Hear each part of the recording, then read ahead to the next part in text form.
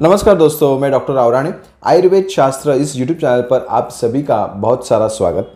दोस्तों, वात दोष संबंधित बीमारियाँ आजकल काफ़ी सारे लोगों को होते हुए देखी जाती है। जब शरीर में वात दोष बढ़ता है, वायु बढ़ता है तो उसका जो इम्पैक्ट है, वो ज़्यादा करके जॉइंट्स के ऊपर होता है। जोड़ों में दर्द होना, घुटनों में दर्द होना, कमर में दर्द होना नेक में दर्द होना, जो अपने स्मॉल जॉइंट्स होते हैं, उसमें दर्द करना, पूरा शरीर दर्द करना, नींद नहीं आना, ऐसे अलग अलग लक्षण जो होते हैं, वो हमारे शरीर में वायु या फिर वात दोष बढ़ने की वजह से होते हैं। तो ऐसी अगर आपकी कंडीशन है, आपके शरीर में वात दोष अगर बढ़ रहा है तो उसको कम करने के लिए एक सिंपल होममेड रेसिपी आपको मैं इस वीडियो में बताने जा रहा हूँ। घर पर ही आप ये पाककृति या फिर रेसिपी बना सकते हैं, ये पदार्थ बना सकते हैं और उसका सेवन कर सकते हैं। उससे आपके शरीर में जो वायु बढ़ रहा है, वातदोष बढ़ रहा है, वो कम होने के लिए डेफिनेटली आपको फ़ायदा होगा। तो ये रेसिपी कैसी बनानी है क्या क्या आपको यूज़ करना है, वो आगे चलकर हम इस वीडियो में देखेंगे। आगे जाने के पहले दोस्तों, अगर आप हमारे आयुर्वेद शास्त्र इस यूट्यूब चैनल पर अगर नए हैं तो हमारा चैनल सब्सक्राइब करके रखिए, बाजू में नोटिफिकेशन का बेल आइकन है, उसे दबा के रखिए, जिससे कि हम जब नया वीडियो अपलोड करेंगे, वो आपके मोबाइल में आपको तुरंत मिल जाएगा। दोस्तों, ये जो रेसिपी हम बनाने वाले हैं, वो एक रोटी बनाने वाले हैं, लेकिन इस रोटी में हम कुछ चीज़ें जो रहती है, उसे ऐड करेंगे। आपके शरीर में जो बड़ा हुआ वात है, उसको कम करने के लिए कुछ चीज़ें जो रहती है, इसे हम ऐड करेंगे और वो जो रोटी है, वो सेकेंगे, जिससे आपको फ़ायदा होने वाला है। हम बाजरे की रोटी, ये आपको बनाने को बताएँगे कैसे बनानी है और उसमें कुछ चीज़ें जो है वो हम ऐड करने वाले हैं। देखिए दोस्तों, जब शरीर में वात दोष बढ़ता है, वायु बढ़ता है तो मैंने जैसे बताया आपको कि बहुत सारी दिक्कतें आती हैं, जैसे कि जॉइंट पेन आर्थराइटिस या फिर पेट साफ़ न होना, पेट फूलना, पेट में हल्का हल्का दर्द बना रहना, नींद नहीं आना, ऐसे बहुत सारी दिक्कतें जो होती है, वो शरीर में वात दोष बढ़ने की वजह से होती है। वात दोष जब हमारे शरीर में बढ़ता है, वो प्राय करके दो गुणों के वजह से बढ़ता है। जैसे कि हमारे शरीर में अगर शीत गुण की वृद्धि होती है, ठंडापन बढ़ता है तो वातु, वात दोष जो है शरीर में वो बढ़ बढ़ जाता है। आप देखेंगे, जब आप समझो फ़ैन के नीचे बहुत टाइम तक अगर बैठे या फिर आप एसी में ज़्यादा टाइम बैठे हैं या फिर आप अगर ठंडे पानी में बहुत टाइम तक बर्तन धो रहे या फिर आपका काम कर रहे हैं चार पाँच घंटा ठंडे पानी में अगर आप काम कर रहे हैं तो आप देखेंगे कि आपके शरीर में जो जॉइंट पेन है, वो दर्द होना आपका तुरंत चालू होता है। तो ये जो ठंडा गुण होता है, उसके वजह से शरीर में वात दोष की वृद्धि होते हुए देखी जाती है। उसी के साथ वात दोष जो है, वो रुक्ष गुण के वजह से भी बढ़ता है। रुक्ष मैंने क्या है कि ड्राइनेस शरीर में क्या करता है, वात दोष शरीर को ड्राई करता है। आजकल आप देखेंगे कि बहुत सारे डीजनरेटिव डिजीजेस देखे जाते हैं।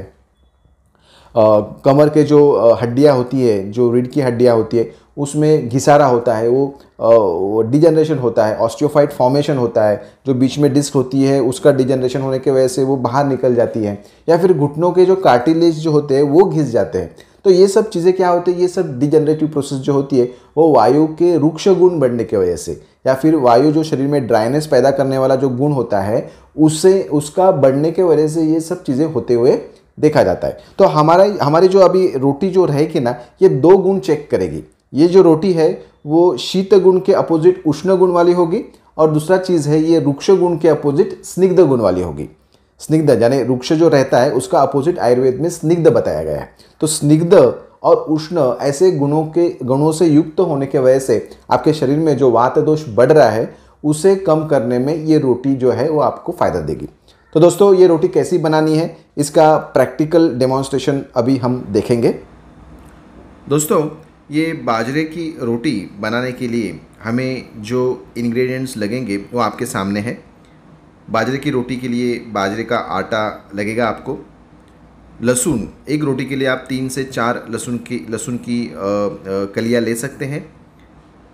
पाव चम्मच धनिया पाउडर, पाव चम्मच जीरा पाउडर, दो तीन चुटकी हींग और सफ़ेद तिल, जो वाइट वाले तिल होते हैं, उसे आपको लेना है। और भी एक इंपॉर्टेंट चीज़ यहाँ पे हम लेने वाले हैं, वो है गंधर्व हस्त्यादि एरंड तेल। हाँ दोस्तों यहाँ पे हम गंधर्व हस्त्यादि एरेंड तेल इसमें, इस बाजरे की रोटी बनाते समय इसमें मिलाएँगे। इससे क्या होगा कि इससे आपके जो पेट में वात बढ़ रहा है, वायु बढ़ रहा है, गैस बढ़ रहा है, उसका शमन होगा, वो कम होगा। और आप देखेंगे कि एरेंड तेल जो होता है, उसे लेने में काफ़ी कठिनाई होती है, लेकिन इस स्वरूप में अगर आप लेते हैं तो आपको उससे डेफिनेटली फ़ायदा हो सकता है। अभी हम क्या करेंगे एक एक करके जो भी इंग्रेडिएंट्स है वो सब इस बाजरे के आटे में हम मिलाएँगे। ये सब चीज़ें जो है, जैसे कि हींग है, जीरा है, लहसुन है, धनिया है, ये सब चीज़ें जो है ना, ये उष्ण होती है। पहले मैंने आपको बताया कि जो वायु होता है, वो शीत गुण से युक्त होता है और उसके ऊपर अगर एक्ट करने के लिए हम लोग उष्ण गुण अगर डालते हैं तो उससे वात का शमन होता है। तो इस प्रकार से ये अलग अलग मसाले के जो जो पदार्थ है, उसे हमने ऐड यहाँ पे किया है। इसके बाद इंपॉर्टेंट जो दवाई इस आटे में हम लोग मिलाएँगे, वो है गंधर्व हस्त्यादि एरेंड तेल।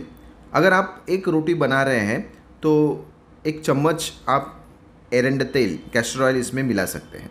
ठीक है, एक रोटी के लिए एक चम्मच, यानी फाइव एम तक आप कैस्टर ऑयल इस रोटी बनाने के लिए यूज़ कर सकते हैं। शुरुआत में आप, जैसे कि पहले ही बार आप बना रहे हैं तो आधा चम्मच पहले डालिए। उसके बाद सेकेंड थर्ड डे आप एक चम्मच डालकर ये जो आटा आटा है, उसको आप गूंद सकते हैं। तो देखिए दोस्तों, इस प्रकार से आप, ये आटा अच्छे से गूंदिए और इससे आपको रोटी बनानी है। रोटी के ऊपर आप ऐसे सफ़ेद तिल जो होते हैं, वो भी डाल सकते हैं। सफ़ेद तिल भी उष्ण होते हैं और वात के लिए अच्छे होते हैं और जो शरीर की हड्डियाँ होती है, उन्हें भी नरिशमेंट देने के लिए काफ़ी अच्छे साबित होते हैं। तो देखिए दोस्तों, इस प्रकार से आपकी बाजरे की रोटी तैयार हुई है। इसमें हमने सभी प्रकार के उष्ण द्रव्य डाले हैं, जिससे कि आपके पेट में जो गैस बढ़ता है, उसका शमन होगा, वो कम होगा और इसमें हमने गंधर्व, हस्त्यादि, एरेंड तेल भी डाला है, जिससे कि आपका पेट भी रोज़ साफ़ होते रहेगा। देखिए दोस्तों, अगर आपके आसपास आपको गंधर्व, हस्त्यादि, एरेंड तेल, गंधर्व, हस्त्यादि कैस्टर ऑयल अवेलेबल नहीं हो रहा है तो नीचे डिस्क्रिप्शन बॉक्स में मैंने आपको अमेज़ोन की लिंक दी है। वहाँ पे क्लिक करके भी गंधर्व, हस्त्यादि, एरेंडा तेल आप खरीद सकते हैं और उसे इस्तेमाल कर सकते हैं। या फिर आप सिंपल कैस्टर ऑयल भी यूज़ करेंगे तो भी चल सकता है। देखिए दोस्तों, इस प्रकार से एकदम से नरम ऐसे ये रोटी होती है और ये आप ज़रूर खाइए। अगर आपका पेट साफ़ बरोबर से नहीं होता है, पेट में गैसेस है या फिर आपको जॉइंट की दिक्कत है, आपको आर्थराइटिस है, आपको आमवात है, आपके जोड़ों में दर्द हो रहा है तो ऐसे अगर आपको समस्या है तो ऐसी आप रोटी बनाइए और उसका सेवन करिए, जिससे कि आपको निश्चित लाभ होगा। दोस्तों, ये वीडियो अगर आपको अच्छा लगा हो तो ये वीडियो लाइक करिए। नीचे लाइक का बटन है, उसे प्रेस करिए। आपके फ्रेंड सर्कल में, व्हाट्सएप ग्रुप में, फेसबुक में इस वीडियो को ज़रूर शेयर करिए। दोस्तों, अभी यहीं पर रुकता हूँ। आगे चलकर कुछ नया वीडियो आपके लिए लेके आऊँगा। तब तक धन्यवाद।